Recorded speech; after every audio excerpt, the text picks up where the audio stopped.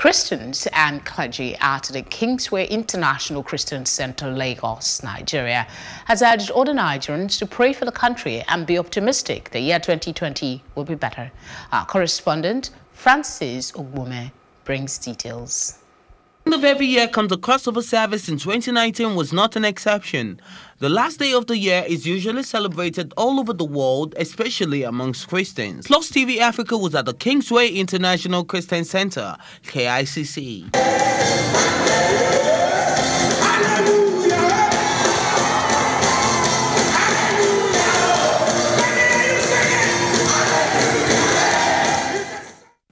The minister, Pastor Femi Fashiru, the national superintendent of KICC Nigeria, during his sermon stressed on how important it is as believers to give thanks and praises to God, stating it was paramount to our survival as those who have passed away were not the worst beings on earth than us alive. I've got to let you understand that the devil wanted it to be worse for us as a nation, the devil wanted it to be worse for us as individuals irrespective of what your experience was in 2019, you've got to be able to pause where you are.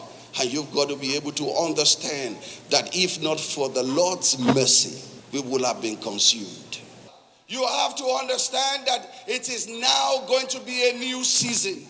It is now going to be a better season. It is now going to be a more glorious season.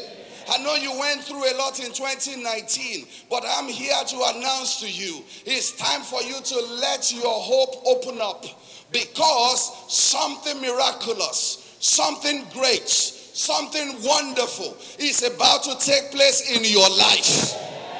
The service had several ministrations from both the choir, drama, and choreography. As we all know, New Year resolutions are synonymous to New Year's, and Plus TV Africa spoke with some members and asked if they believe in New Year resolutions, and if yes, what are their resolutions?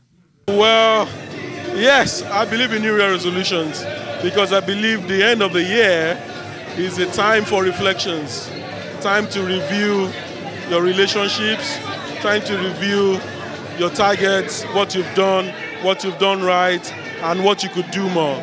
So you could make new targets, set new targets for yourself, and by and large, it's all resolutions, yeah. Okay, some of my resolutions is one, um, closer to God.